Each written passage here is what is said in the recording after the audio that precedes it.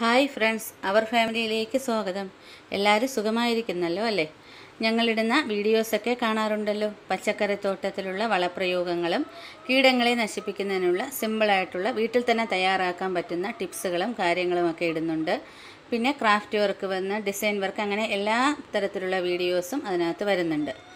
അത് മാത്രമല്ല നമുക്ക് സിമ്പിളായിട്ട് വീട്ടിൽ ചെയ്യാൻ പറ്റുന്നതും നല്ല ടേസ്റ്റി ആയിട്ടുള്ളതുമായിട്ടുള്ള റെസിപ്പീസും വരുന്നുണ്ട്. അപ്പോൾ നിങ്ങൾ എന്ത് ചെയ്യണം എല്ലാ വീഡിയോസും കണ്ടിട്ട് ലൈക്ക് ചെയ്യാനും അതുപോലെ നിങ്ങളുടെ ഫ്രണ്ട്സ് റിലേറ്റീവ്സിനെല്ലാം ഷെയർ ചെയ്യാനും അതുപോലെ ചാനൽ സബ്സ്ക്രൈബ് ചെയ്തിട്ട് സപ്പോർട്ട് ചെയ്യുകയും വേണം.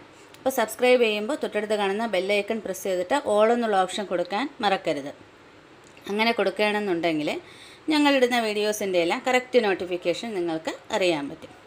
അപ്പോൾ ഇപ്പോൾ മാർക്കറ്റിലെ ഏറ്റവും അവൈലബിൾ ആയിട്ടുള്ളതും ലാഭത്തിൽ നമ്മളെല്ലാവരും വീടുകളിൽ മിക്കവാറും പേരും വാങ്ങുന്നതുമായിട്ടുള്ളൊരു ഐറ്റമാണ് ഓറഞ്ച് അപ്പോൾ ഓറഞ്ച് വെച്ചിട്ട് നമുക്ക് ഒരു സ്വീറ്റായിട്ടുള്ള അടിപൊളിയായിട്ടുള്ളൊരു കേക്ക് തയ്യാറാക്കുന്നത് എങ്ങനെയാണെന്നുള്ളതാണ് ഞാൻ ഇന്ന് ഇടുന്ന വീഡിയോ അപ്പോൾ നമ്മൾ ഓരോ ഐറ്റത്തിന്റെ സീസൺ ആകുമ്പോൾ അതനുസരിച്ചുള്ള ഓരോ ഐറ്റം നമ്മൾ എന്ത് ചെയ്യും ഇപ്പോൾ തയ്യാറാക്കി നോക്കാറുണ്ട്.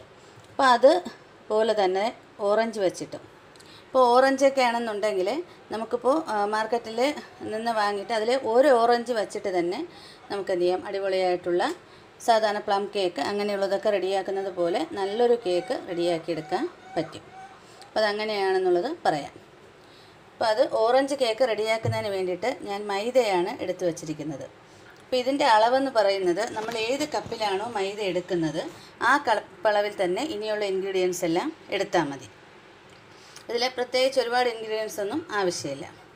ഇപ്പോൾ ഇതിലൊരു ഇരുന്നൂറ്റി ഇരുപത്തഞ്ച് ഗ്രാമോളം വരുന്ന എന്തോന്നാണ് മൈദ ഉണ്ട്.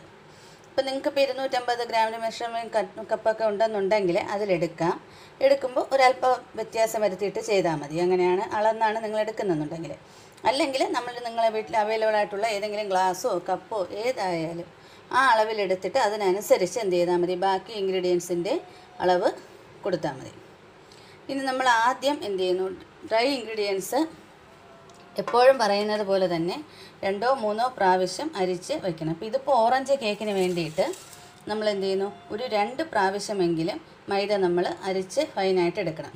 എങ്കിൽ മാത്രമേ കേക്ക് നല്ല സോഫ്റ്റ് ആയിട്ടിരിക്കൂ.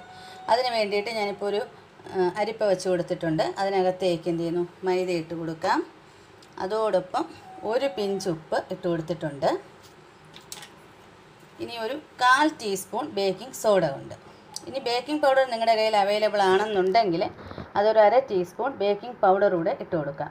ഞാനിപ്പോൾ ഇടുന്നില്ല. കാൽ ടീസ്പൂൺ ബേക്കിംഗ് സോഡയും ഒരു പിഞ്ച് ഉപ്പും ഇട്ടിട്ട് മൈദ എന്ത് ചെയ്തു? നല്ല ഫൈനായിട്ട് ഒരു രണ്ട് പ്രാവശ്യമെങ്കിലും അരിച്ച് മാറ്റി വയ്ക്കണം അത് നമ്മൾ ആദ്യം ചെയ്യേണ്ട പ്രോസസ്സാണ് ഡ്രൈ ഇൻഗ്രീഡിയൻസ് അരച്ചിട്ട് വയ്ക്കുക എന്നുള്ളത്. ഇനി അതിനുശേഷം ചെയ്യേണ്ടതെന്ന് പറയുന്നത് ഇതുപോലുള്ളൊരു ബ്ലൈഡ് സെറ്റിങ് നിങ്ങൾ വീട്ടിലെല്ലാം കാണുമല്ലോ. നമ്മൾ ക്യാരറ്റൊക്കെ ഗ്രേറ്റ് ചെയ്യാൻ വേണ്ടിയിട്ടൊക്കെ വാങ്ങുന്നത്.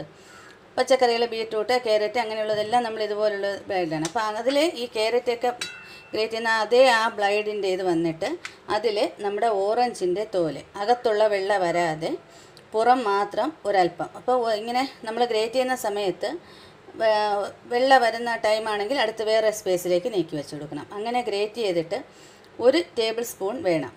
അപ്പോൾ അത്രയും മതി. അതിനനുസരിച്ച് ഗ്രേറ്റ് ചെയ്ത് അതും കൂടെ വയ്ക്കാം ഇത് മാവ് എന്ത് ചെയ്തു? ഉപ്പും അതുപോലെ ബേക്കിംഗ് സോഡയും കൂടെ ചേർത്തിട്ട് നല്ല ഫൈനായിട്ട് രണ്ട് പ്രാവശ്യം അരിച്ച് മാറ്റി വെച്ചിട്ടുണ്ട്. ഇനി അടുത്ത് ഓറഞ്ചിൽ നിന്നും എന്ത് ചെയ്തു? ശകലം ഓറഞ്ച് തൊലി. ഗ്രേറ്റ് ചെയ്തിട്ട് ഒരു ടേബിൾ സ്പൂൺ എന്ന് പറയുമ്പോൾ അങ്ങ് ഒരു ടേബിൾ സ്പൂൺ നിറച്ചെടുക്കണ്ട. ഒരു ടീസ്പൂണിനേക്കാളും മുകളിലും ഒരു ടേബിൾ സ്പൂണിനകത്തും വരുന്ന ആ ഒരു വിധം മതി. അതും കൂടെ റെഡിയാക്കി വെച്ചു. ഇനി നമ്മൾ ചെയ്യേണ്ട അടുത്തതെന്ന് പറയുന്നത് അരക്കപ്പ് പഞ്ചസാര ഷുഗർ അതായത് നമ്മൾ പഞ്ചസാര പൊടിച്ച അരക്കപ്പ് പഞ്ചസാരയാണ് നമുക്ക് ആവശ്യം. അപ്പോൾ അതുകൊണ്ട് നമ്മളിപ്പോൾ നമുക്കറിയാമെന്നുള്ളൊരു കാര്യം എന്ന് വെച്ചാൽ അരക്കപ്പ് പഞ്ചസാര എടുത്തിട്ട് നമ്മൾ പൊടിക്കുമ്പോൾ ഏകദേശം മുക്കാൽ കപ്പിനകത്ത് വരും. അതുകൊണ്ട് നിങ്ങൾ ചെയ്യേണ്ടത് ഒരു കാൽ കപ്പിനും അരക്കപ്പിനും ഇടയ്ക്ക് വരുന്ന രീതിയിൽ പഞ്ചസാര എടുത്താൽ മതി. ഓവർ മധുരം ആയാലും അതൊരു ഇതാണ്. ടേസ്റ്റ് അത്ര ഇത് ഉണ്ടാവില്ല. അതുകൊണ്ടൊരു കാൽ കപ്പിന് മുകളിലും അരക്കപ്പിനകത്തും വരുന്ന രീതിയിൽ പഞ്ചസാര എടുത്തിട്ട് പൗഡർ നല്ലപോലെ പൊടിച്ചെടുക്കുമ്പോൾ എന്ത് ചെയ്യും? അരക്കപ്പളവിൽ ആയിക്കോളും. ഇനി അടുത്ത് നമ്മൾ ചെയ്യേണ്ടതെന്ന് പറയുന്നത് അപ്പോൾ പഞ്ചസാര പൊടിച്ച് വയ്ക്കണം അപ്പോൾ പഞ്ചസാര പൊടിച്ച് വയ്ക്കാം ഇനി അടുത്ത് നമ്മൾ ചെയ്യേണ്ടതെന്ന് പറഞ്ഞാൽ കേക്ക് തയ്യാറാക്കി നമ്മൾ ഏതിലാണോ കേക്ക് തയ്യാറാക്കേണ്ടത് ആ പാത്രം എന്ത് ചെയ്യുന്നു? അല്പം എണ്ണ ബട്ടർ പേപ്പർ ഉണ്ടെങ്കിൽ അതിടാം അല്ലാന്നുണ്ടെങ്കിൽ അല്പം എണ്ണ തടവിയിട്ട് മൈദപ്പൊടി ഒന്ന് കൊട്ടി റെഡിയാക്കി വെക്കണം.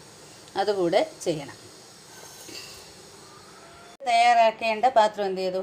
എണ്ണയിൽ മൈദപ്പൊടിയും എല്ലാം റെഡിയാക്കി അത് വെച്ചിട്ടുണ്ട്. ഇനി അടുത്ത് പഞ്ചസാര പൊടിക്കുന്നതിന് വേണ്ടിയിട്ട് മിക്സിയുടെ പൊടിക്കുന്ന ജാർ എടുത്തിട്ട് അതിനകത്തേക്ക് പറഞ്ഞതുപോലെ അരക്കപ്പിനകത്തും ഒരു കാൽ കപ്പിന് മുകളിൽ നിൽക്കുന്ന രീതിയിലുള്ള ഷുഗർ നമ്മൾ എടുത്തു ഇനി അതിനോടൊപ്പം തന്നെ ഒരു ഏലക്കായുടെ തോൽ മാറ്റിയിട്ട് അകത്തുള്ള ആ ഒരു കറുത്ത ഇത് മാത്രം കുരു മാത്രം ഇട്ട് കൊടുക്കുന്നു. ഇട്ട് കൊടുത്തിട്ട് ഇത് നല്ല ഫൈനായിട്ട് പൊടിച്ചെടുക്കാം. ഇതേയും പൊടിച്ച് മാറ്റി വെച്ചിട്ടുണ്ട്. ഇനി അടുത്ത് നമ്മൾ ഈ ഓറഞ്ച് തൊലി കളയാതെ തൊലിയോടുകൂടി തന്നെ എന്ത് ചെയ്യുന്നു? നാരങ്ങയൊക്കെ പിഴിയാൻ വേണ്ടിയിട്ട് നമ്മൾ എങ്ങനെയാണോ കട്ട് ചെയ്യുന്നത് അതുപോലെ ഇത് സെന്ററിലൂടെ കട്ട് ചെയ്യണം.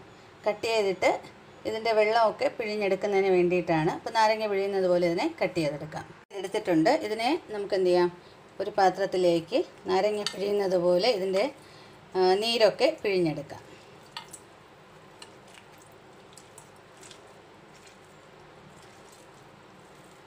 അപ്പം അതുപോലെ രണ്ട് പീസിന്റെയും കംപ്ലീറ്റ് നീരും പിഴിഞ്ഞ് നമുക്കെടുത്തിട്ട് അരച്ചെടുക്കണം. അപ്പം ആദ്യം പിഴിഞ്ഞ് വയ്ക്കാം വെച്ചിരിക്കുന്ന നീര് നമുക്ക് എന്ത് ചെയ്യാം കേക്കിന്റെ ബാറ്റർ തയ്യാറാക്കേണ്ട പാത്രത്തിലേക്ക് അരിച്ചൊഴിച്ചു കൊടുക്കാം.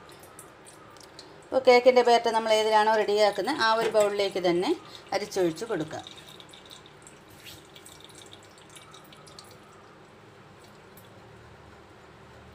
അപ്പോൾ അതിന്റെ കുരു ഒന്നും വരാതെ അതിന്റെ നീര് മാത്രമാണ് എടുത്തിരിക്കുന്നത്.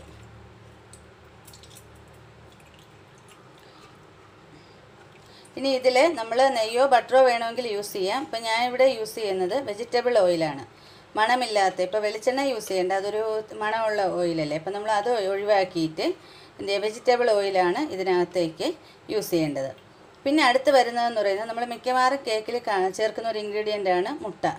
പക്ഷേ മുട്ട ഞാൻ എന്ത് ചെയ്യുന്നില്ല ഈ കേക്കിൽ ചേർക്കുന്നില്ല. അതാണ് മുട്ടയുടെ കാര്യമൊന്നും പറയാത്തത്. മുട്ട ഈ കേക്കിലേക്ക് ചേർക്കുന്നില്ല. അപ്പോൾ ഈ ഓറഞ്ച് നീരിലേക്ക് നമ്മൾ എന്ത് ചെയ്തു? നേരത്തെ മൈദയും ഷുഗറും എല്ലാം എടുത്ത അതേ കപ്പളവിൽ തന്നെ കാൽ കപ്പ് വെജിറ്റബിൾ ഓയിൽ കൂടെ ഓറഞ്ച് നീരിലേക്ക് ഒഴിച്ചു കൊടുക്കാം. എന്നിട്ട് അതിൽ കൂടെ പൊടിച്ച ഷുഗർ കൂടെ ഇട്ടിട്ട് നല്ലതുപോലെ ഒന്ന് മിക്സ് ചെയ്ത് കൊടുക്കാം.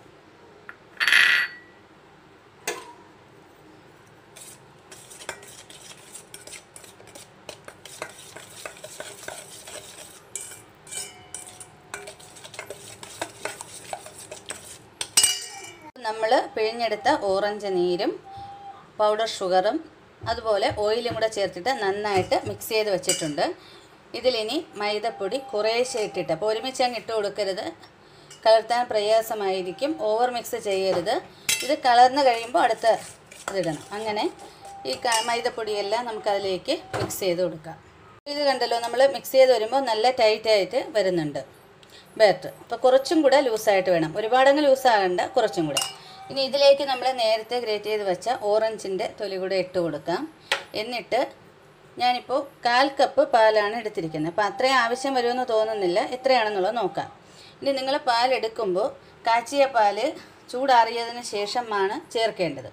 അതിപ്പോൾ പുറത്തിരിക്കുന്നതാണെങ്കിൽ കുഴപ്പമില്ല. നമ്മൾ ഫ്രിഡ്ജിലൊക്കെ കാച്ചി വെച്ചിരിക്കുന്ന പാലാണെന്നുണ്ടെങ്കിൽ കുറച്ച് നേരം തണുപ്പ് മാറാൻ വേണ്ടി എടുത്ത് വച്ചിട്ടേ ചേർക്കാവൂ. ഇനി ഇതൊരു അല്പം ഒരുപാടങ്ങ് ഒഴിക്കരുത്. ആദ്യം ഒരു ടേബിൾ സ്പൂണോളം വരുന്ന അളവൊന്ന് ഒഴിച്ചിട്ട് കലക്കി നോക്കണം. നോക്കുമ്പോൾ അതൊരു ഇതെന്ന് വെച്ചാൽ ഈ ഒരു ടൈറ്റ് ആയിട്ടുള്ള ഒരു അവസ്ഥ മാറിയിട്ട് കുറച്ചൊന്ന് ലൂസായിട്ട് വരുമ്പോൾ മതി. അപ്പോൾ ആ ഒരു അവസ്ഥയിലേക്ക് വരുന്നെങ്കിൽ ബാക്കി പാൽ ചേർക്കണ്ട. അപ്പോൾ ബാറ്റർ എന്ന് പറയുമ്പോൾ കണ്ടല്ലോ തീരെ ലൂസായിട്ടല്ല കട്ടിയായിട്ടാണ് ഒരുവിധം. ഇപ്പോൾ രണ്ട് ടേബിൾ സ്പൂൺ പാൽ വരെ ഞാനിതിൽ ചേർത്തിട്ടുണ്ട്. ഇനി നമ്മൾ ഒരു ചുവട് കട്ടിയുള്ള ഒരു പാത്രം എന്ത് ചെയ്യുന്നു അടുപ്പിൽ ചൂടാകാൻ വെച്ചിട്ടുണ്ട്. അപ്പോൾ അതൊന്ന് ഹീറ്റായി വരട്ടെ.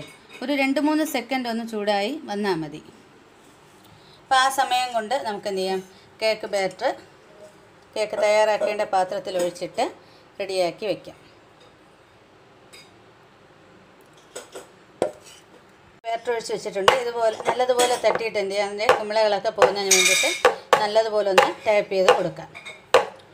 ഇനി നമ്മൾ ചൂടാകാൻ വേണ്ടി വച്ചിരിക്കുന്നതിനകത്തേക്ക് ഒരു റിങ് വെച്ച് കൊടുക്കുക സെന്ററായിട്ട് വച്ചു കൊടുത്തതിന് ശേഷം കേക്കിന്റെ ബാറ്റർ ആ റിങ്ങിലേക്ക് വെച്ച് കൊടുക്കാം വച്ചു കൊടുത്തിട്ട് ഒരു കാര്യം ഇപ്പം നമ്മൾ അടച്ച് വെച്ചിട്ട് ഒരു ഇരുപത് സെക്കൻഡെങ്കിലും കഴിയാതെ അത് ഇരുപത് മിനിറ്റ് കഴിയാതെ നമ്മൾ എന്ത് ചെയ്യരുത്? തുറന്നു നോക്കരുത്. കാരണം ഇത് പൊങ്ങി വരുന്ന ആ ഒരു അവസ്ഥയിൽ അങ്ങ് താന്നു പോകും കേക്ക്. അതുകൊണ്ട് ഒരു ഇരുപത് ഇരുപത്തഞ്ച് സെക്കൻഡൊക്കെ ആയിട്ട് ഇത് തുറന്ന് നോക്കിയാൽ മതി. പിന്നെ ഇടുന്ന ഫ്ലെയിം എന്ന് പറയുന്നത് ലോ ഫ്ലെയിമിനും മീഡിയം ഫ്ലെയിമിനും ഇടയിൽ നിൽക്കുന്നതായിരിക്കണം. ഹൈ ഫ്ലെയിമിലൊന്നും വയ്ക്കരുത്. ഒരു ലോ ഫ്ലെയിമിനേക്കാളും ഒരു അല്പം കൂടെ ഫ്ലെയിം വച്ചിട്ട് അടച്ചു വെച്ച് വേവിക്കണം. എങ്കിലേ അകമൊക്കെ നല്ല വെന്ത് നല്ല പാകമായിട്ട് വരും. അടി വെച്ചിട്ട് നമുക്കിതിൽ അടച്ചു കൊടുക്കാം. കേക്ക് റെഡിയായിട്ട് വന്നിട്ടുണ്ട്. ഒരു ഇരുപത്തഞ്ച് മിനിറ്റൊക്കെ കഴിഞ്ഞതിന് ശേഷം നോക്കിയപ്പോൾ അല്പം കൂടെ വേകാനുണ്ടായിരുന്നു. ഇപ്പോൾ ഇതാ മുപ്പത് മിനിറ്റ് ആയിട്ടുണ്ട്. അപ്പോൾ നമ്മൾ ഇതിനകത്ത് ടൂത്ത് പിക്ക് എന്തെങ്കിലും വെച്ച് കുത്തി നോക്കിക്കഴിഞ്ഞാൽ അറിയാൻ പറ്റും. ഒരല്പം പോലും അതിലെ മാവോ ഒന്നും വരുന്നില്ല.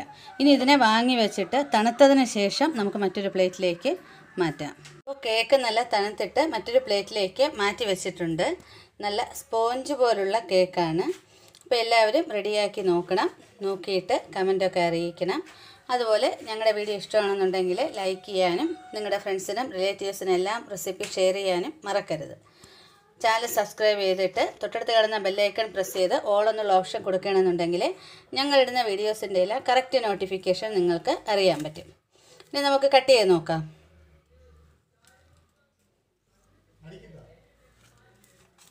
അപ്പോൾ കട്ട് ചെയ്ത് നോക്കാം. കണ്ടല്ലോ കട്ട് ചെയ്തെടുത്തിട്ടുണ്ട് ശകലം പോലും കരിയാതെ നല്ല പെർഫെക്റ്റ് ആയിട്ട് കിട്ടിയിട്ടുണ്ട്. അതുപോലെ നല്ല സ്പോഞ്ചി ആയിട്ട് ഇരിപ്പുണ്ട്. മധുരമെല്ലാം കണക്കിനുള്ള മധുരമാണ് കൊടുത്തിരിക്കുന്നത്. അപ്പോൾ മുട്ട ചേർക്കാതെയുള്ള ഓറഞ്ച് അടിപൊളിയായിട്ടുള്ള കേക്കാണ് എല്ലാവരും ട്രൈ ചെയ്ത് നോക്കിയിട്ട് ഫീഡ്ബാക്ക് അറിയിക്കണം. എല്ലാവർക്കും താങ്ക്